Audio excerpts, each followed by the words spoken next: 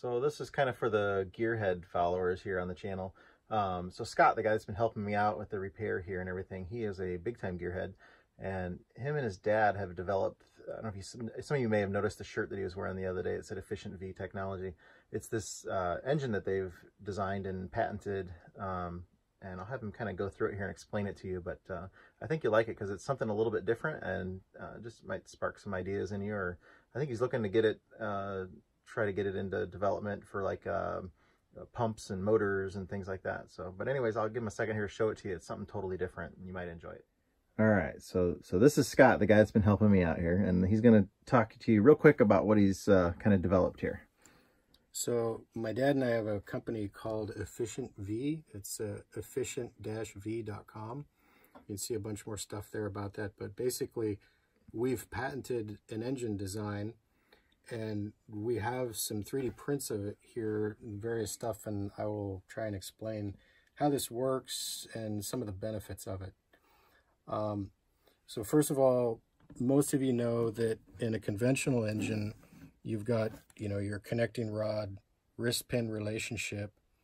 And during the combustion cycle, there's a lot of forces that are pressing the piston into the cylinder wall and sometimes causing rock of the piston um, and wear on the skirt like this.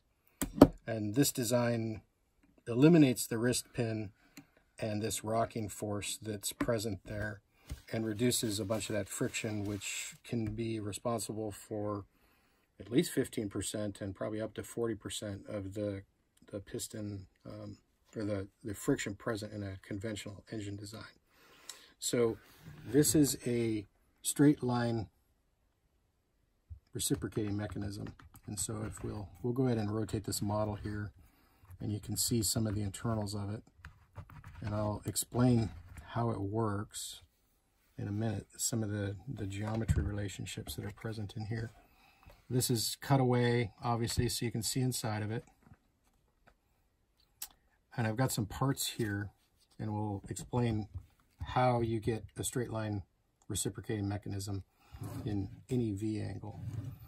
Um, so this is what the piston looks like in here. As I said, there's no wrist pin. Um, there's not really any conventional skirt like you would have in a you know conventional piston. Um, there is an elongated section down here that is lubricated. It's uh, pressure-fed oil from the block, and that pressure-fed oil lubricates this elongate journal here and also feeds the crank pin lubrication and can feed pressure fed oil up into here to squirt the underside of the piston as necessary. Um, the geometry relationships that are at play here are um, the the angular relationship. First of all, this model here is of 120 degree V, but it can be any V angle. The Crank pins are displaced about the central axis of the crankshaft by twice the cylinder V angle. The distance from the crank pin center line to, or sorry, the, the crankshaft center line to the crank pins is one quarter the stroke. The pinion gear diameter that is on the nose of the crank is equal to half the stroke. And there is a ring gear that's situated, let's see if we can get a good view of it, in the end, each end of the block, whose internal ring diameter is equal to the stroke. So when we set up all those geometry relationships together, we get a straight line reciprocating mechanism. As you can see here, this elongate journal rides on a cylinder that transects the crankcase all the way through. Now, the, the cylinder is obviously cylindrical down here, but down in this region, it's machined away. In here, you can see it's kind of, it's narrowed down in this region, so it's only the width of this elongate journal in this section down here. Maybe you can see it if I rotate that. So you can look down in the crankcase there. Here you'll see how that looks inside there and how that's supported. It provides support for the crankshaft, um, provides lubrication, provides support for the adjacent cylinder. Um, balance is very simple in this. It You might look at it and think it's not easily balanced. There's no balance weights shown on this crankshaft. Um, just for simplification, this is just a model, but um, you would balance this as you would conventionally in a conventional engine. And there are, in each end of the block here where we've got this, we call it the, the drive member, this is situated down in here in each end, and it's counterweighted.